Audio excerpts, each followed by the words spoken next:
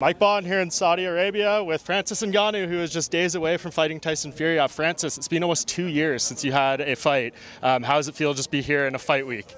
Oh, it feels good, um, and uh, it feels so long since I, I have a fight.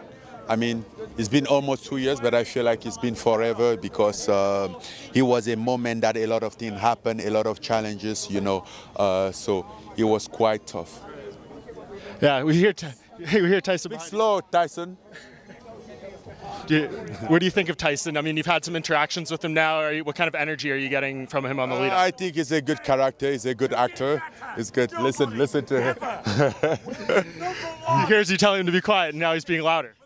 Uh, yeah, I, I, I, shouldn't say that because I know him.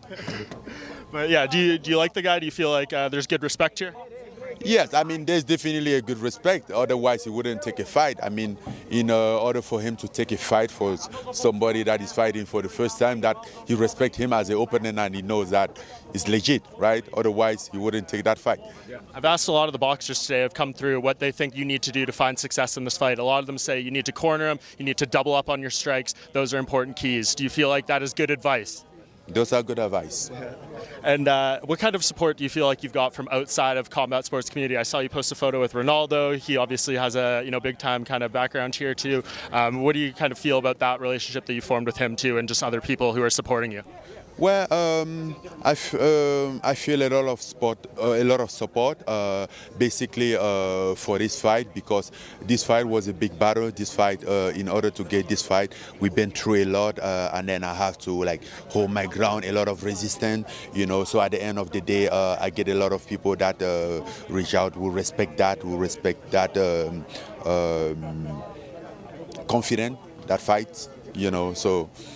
I've been having a lot of support. And that's why, uh, for me, I said, this already a success. You know, uh, this already a win. A Saturday night, I'm going out there to find a second win, but I have won already. I have won everything. And you've got a lot of spectacular knockouts in your career. How do you think it'll feel to knock out Tyson Fury? I think that would be unique, man. that would be a different feeling. Usually, you can I can anticipate how you feel like uh, to have a knockout because I know those one, but this one is quite different. And uh, I don't know how you feel, but I know you feel way different. Thank you. You're welcome.